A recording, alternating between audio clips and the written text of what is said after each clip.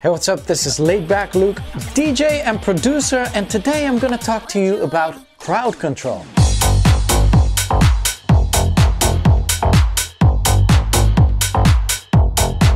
Crowd control. It's quite an abstract type of concept, which why I'm currently not standing behind a DJ desk because it doesn't actually have to do with DJ technique. But I feel the art of crowd control is a lost art. And if you've checked my Instagram, I've been doing these DJ Basics series about crowd control, giving you some specific pointers. But over here on YouTube, I have more time to explain fully. And so today I'll give you five pointers as to how to learn to control a crowd. First off, a little story about why I'm making this vlog. I was at a show one day and I was the headliner and the act playing before me were opening up and they were doing fine. I mean, playing a lot of hits, but they were doing fine, but the set was not going anywhere. It's one thing to play all the hits in a row after each other, but at a point in the night and at a point in the set, you can just ask yourself, okay, where are we going with this? I kind of imagine the, the DJ booth being a cockpit of like a spaceship you need to fly and this whole crowd is on a journey with you. And this, this right here, this concept is what they used to call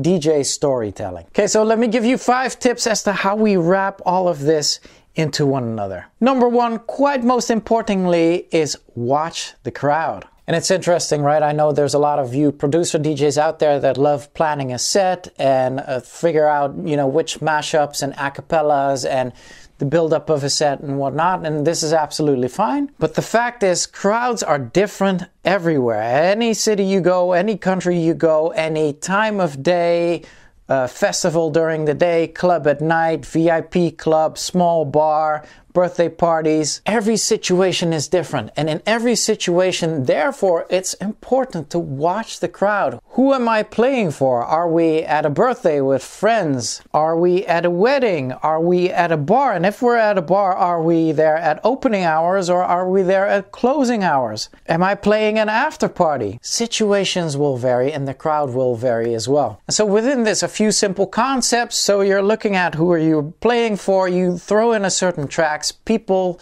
start dancing a little bit less, which in that case is not a really good thing, and so you'd need to come up with something else. Or you play something and they love it, they start dancing harder, so that's a good thing, so give them more. Very simple concept. Okay, number two, work the energy. There is a field of energy going on within a crowd of people dancing, and you are giving that energy to them by fueling them with your music. Now, a simple solution could be to keep the energy high, right? Just keep the energy and go, go, go, go, go, go, go, go, go, keep on going. But unfortunately, this doesn't work on a dance floor because at a certain point, all of the energy levels have been properly exhausted and all of that energy doesn't actually feel that energetic anymore. Or the other way around, if you're not monitoring the energy and the crowd is like, okay, you know, we're dancing, okay, we're dancing, and this just keeps on going, then the energy is low and there will never really be a moment where the crowd is like, yeah, where you actually take the energy higher. And so it's good to see and to notice, say, you've played three energetic tracks to just take it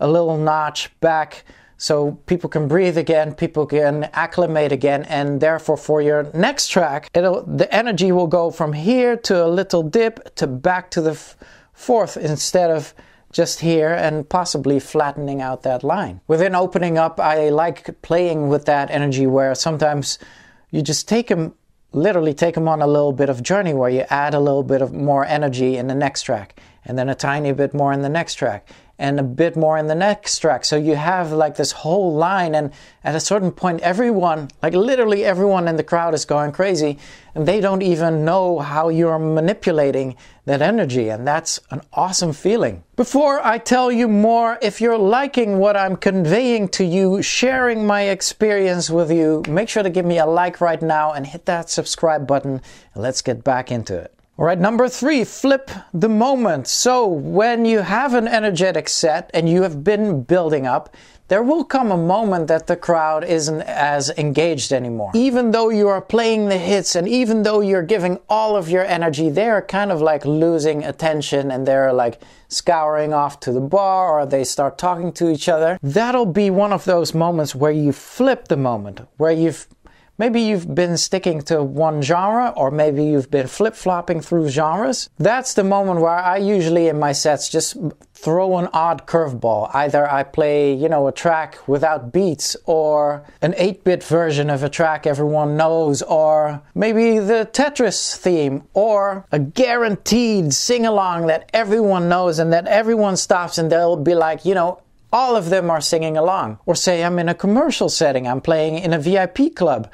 Maybe I'll switch it to something techno. Flipping the moment for me has been so essential where I saw the crowd, I was watching the crowd, I was watching the energy, and at a certain moment they just taper off. You flip it around, and the energy gets renewed. Number four, how much of you is actually in that set? Because all of us can play like the, the biggest tracks from the biggest playlists that everyone listens to. We can play them back to back. Anyone can do that. But how much of this is actually you? How much of this are you playing that you are truly passionate about and that you would truly be dancing to if you would be on the dance floor listening to yourself. In my time coming up, DJs were always known as being tastemakers. They would come with the new trends, with the new hottest tracks, things that people never heard of and we're able to find a way to get people that weren't really as interested to dance to those tracks. And this is really where you will be standing out as a unique artist for your type of taste, for your type of mixing, for your type of presentation. And mind you, I'm not talking about making unofficial remixes, aka bootlegs, edits, and mashups, like, oh, you know, I'm the only one playing these. I'm talking more in the realms of you as a music lover have these couple of amazing, interesting, awesome tracks that no one knows and how to fit those in your sets to represent you. I myself personally love moments when I'm listening to a DJ and I hear this awesome track which I don't even know and I start shazamming on the dance floor to try and find that title. And I personally love, love, love it when a DJ has their own identity and that you can hear the DJ's own identity in between the hits. So it's in between the hits what I think makes you you. And then number five, where are you going with the set? So obviously you're not going out of the club and back to your house with the set. I mean, what are the peak moments you're working towards? What I always have in my head, and this is why I never want to be tapped when I'm DJing, is I have a little cloud of tracks going around in my mind. I always kind of think four or five tracks ahead as to where I'm going.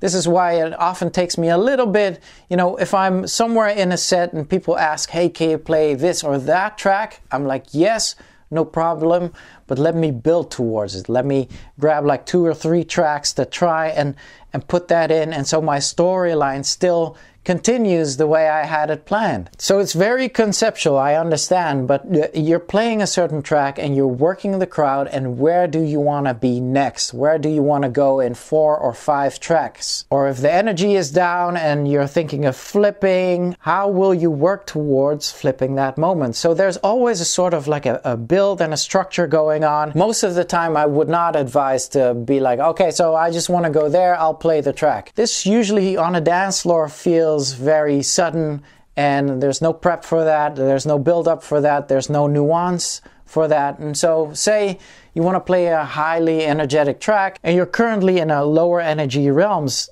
take a good, you know, two to three tracks, depending on the energy of the crowd, to go there.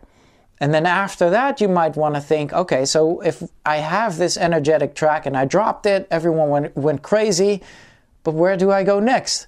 Should I keep on playing that energy? Should I take it back? Or should I flip it around? A little bit conceptual today, but I, I, hope you can sit and just think about what I told you today.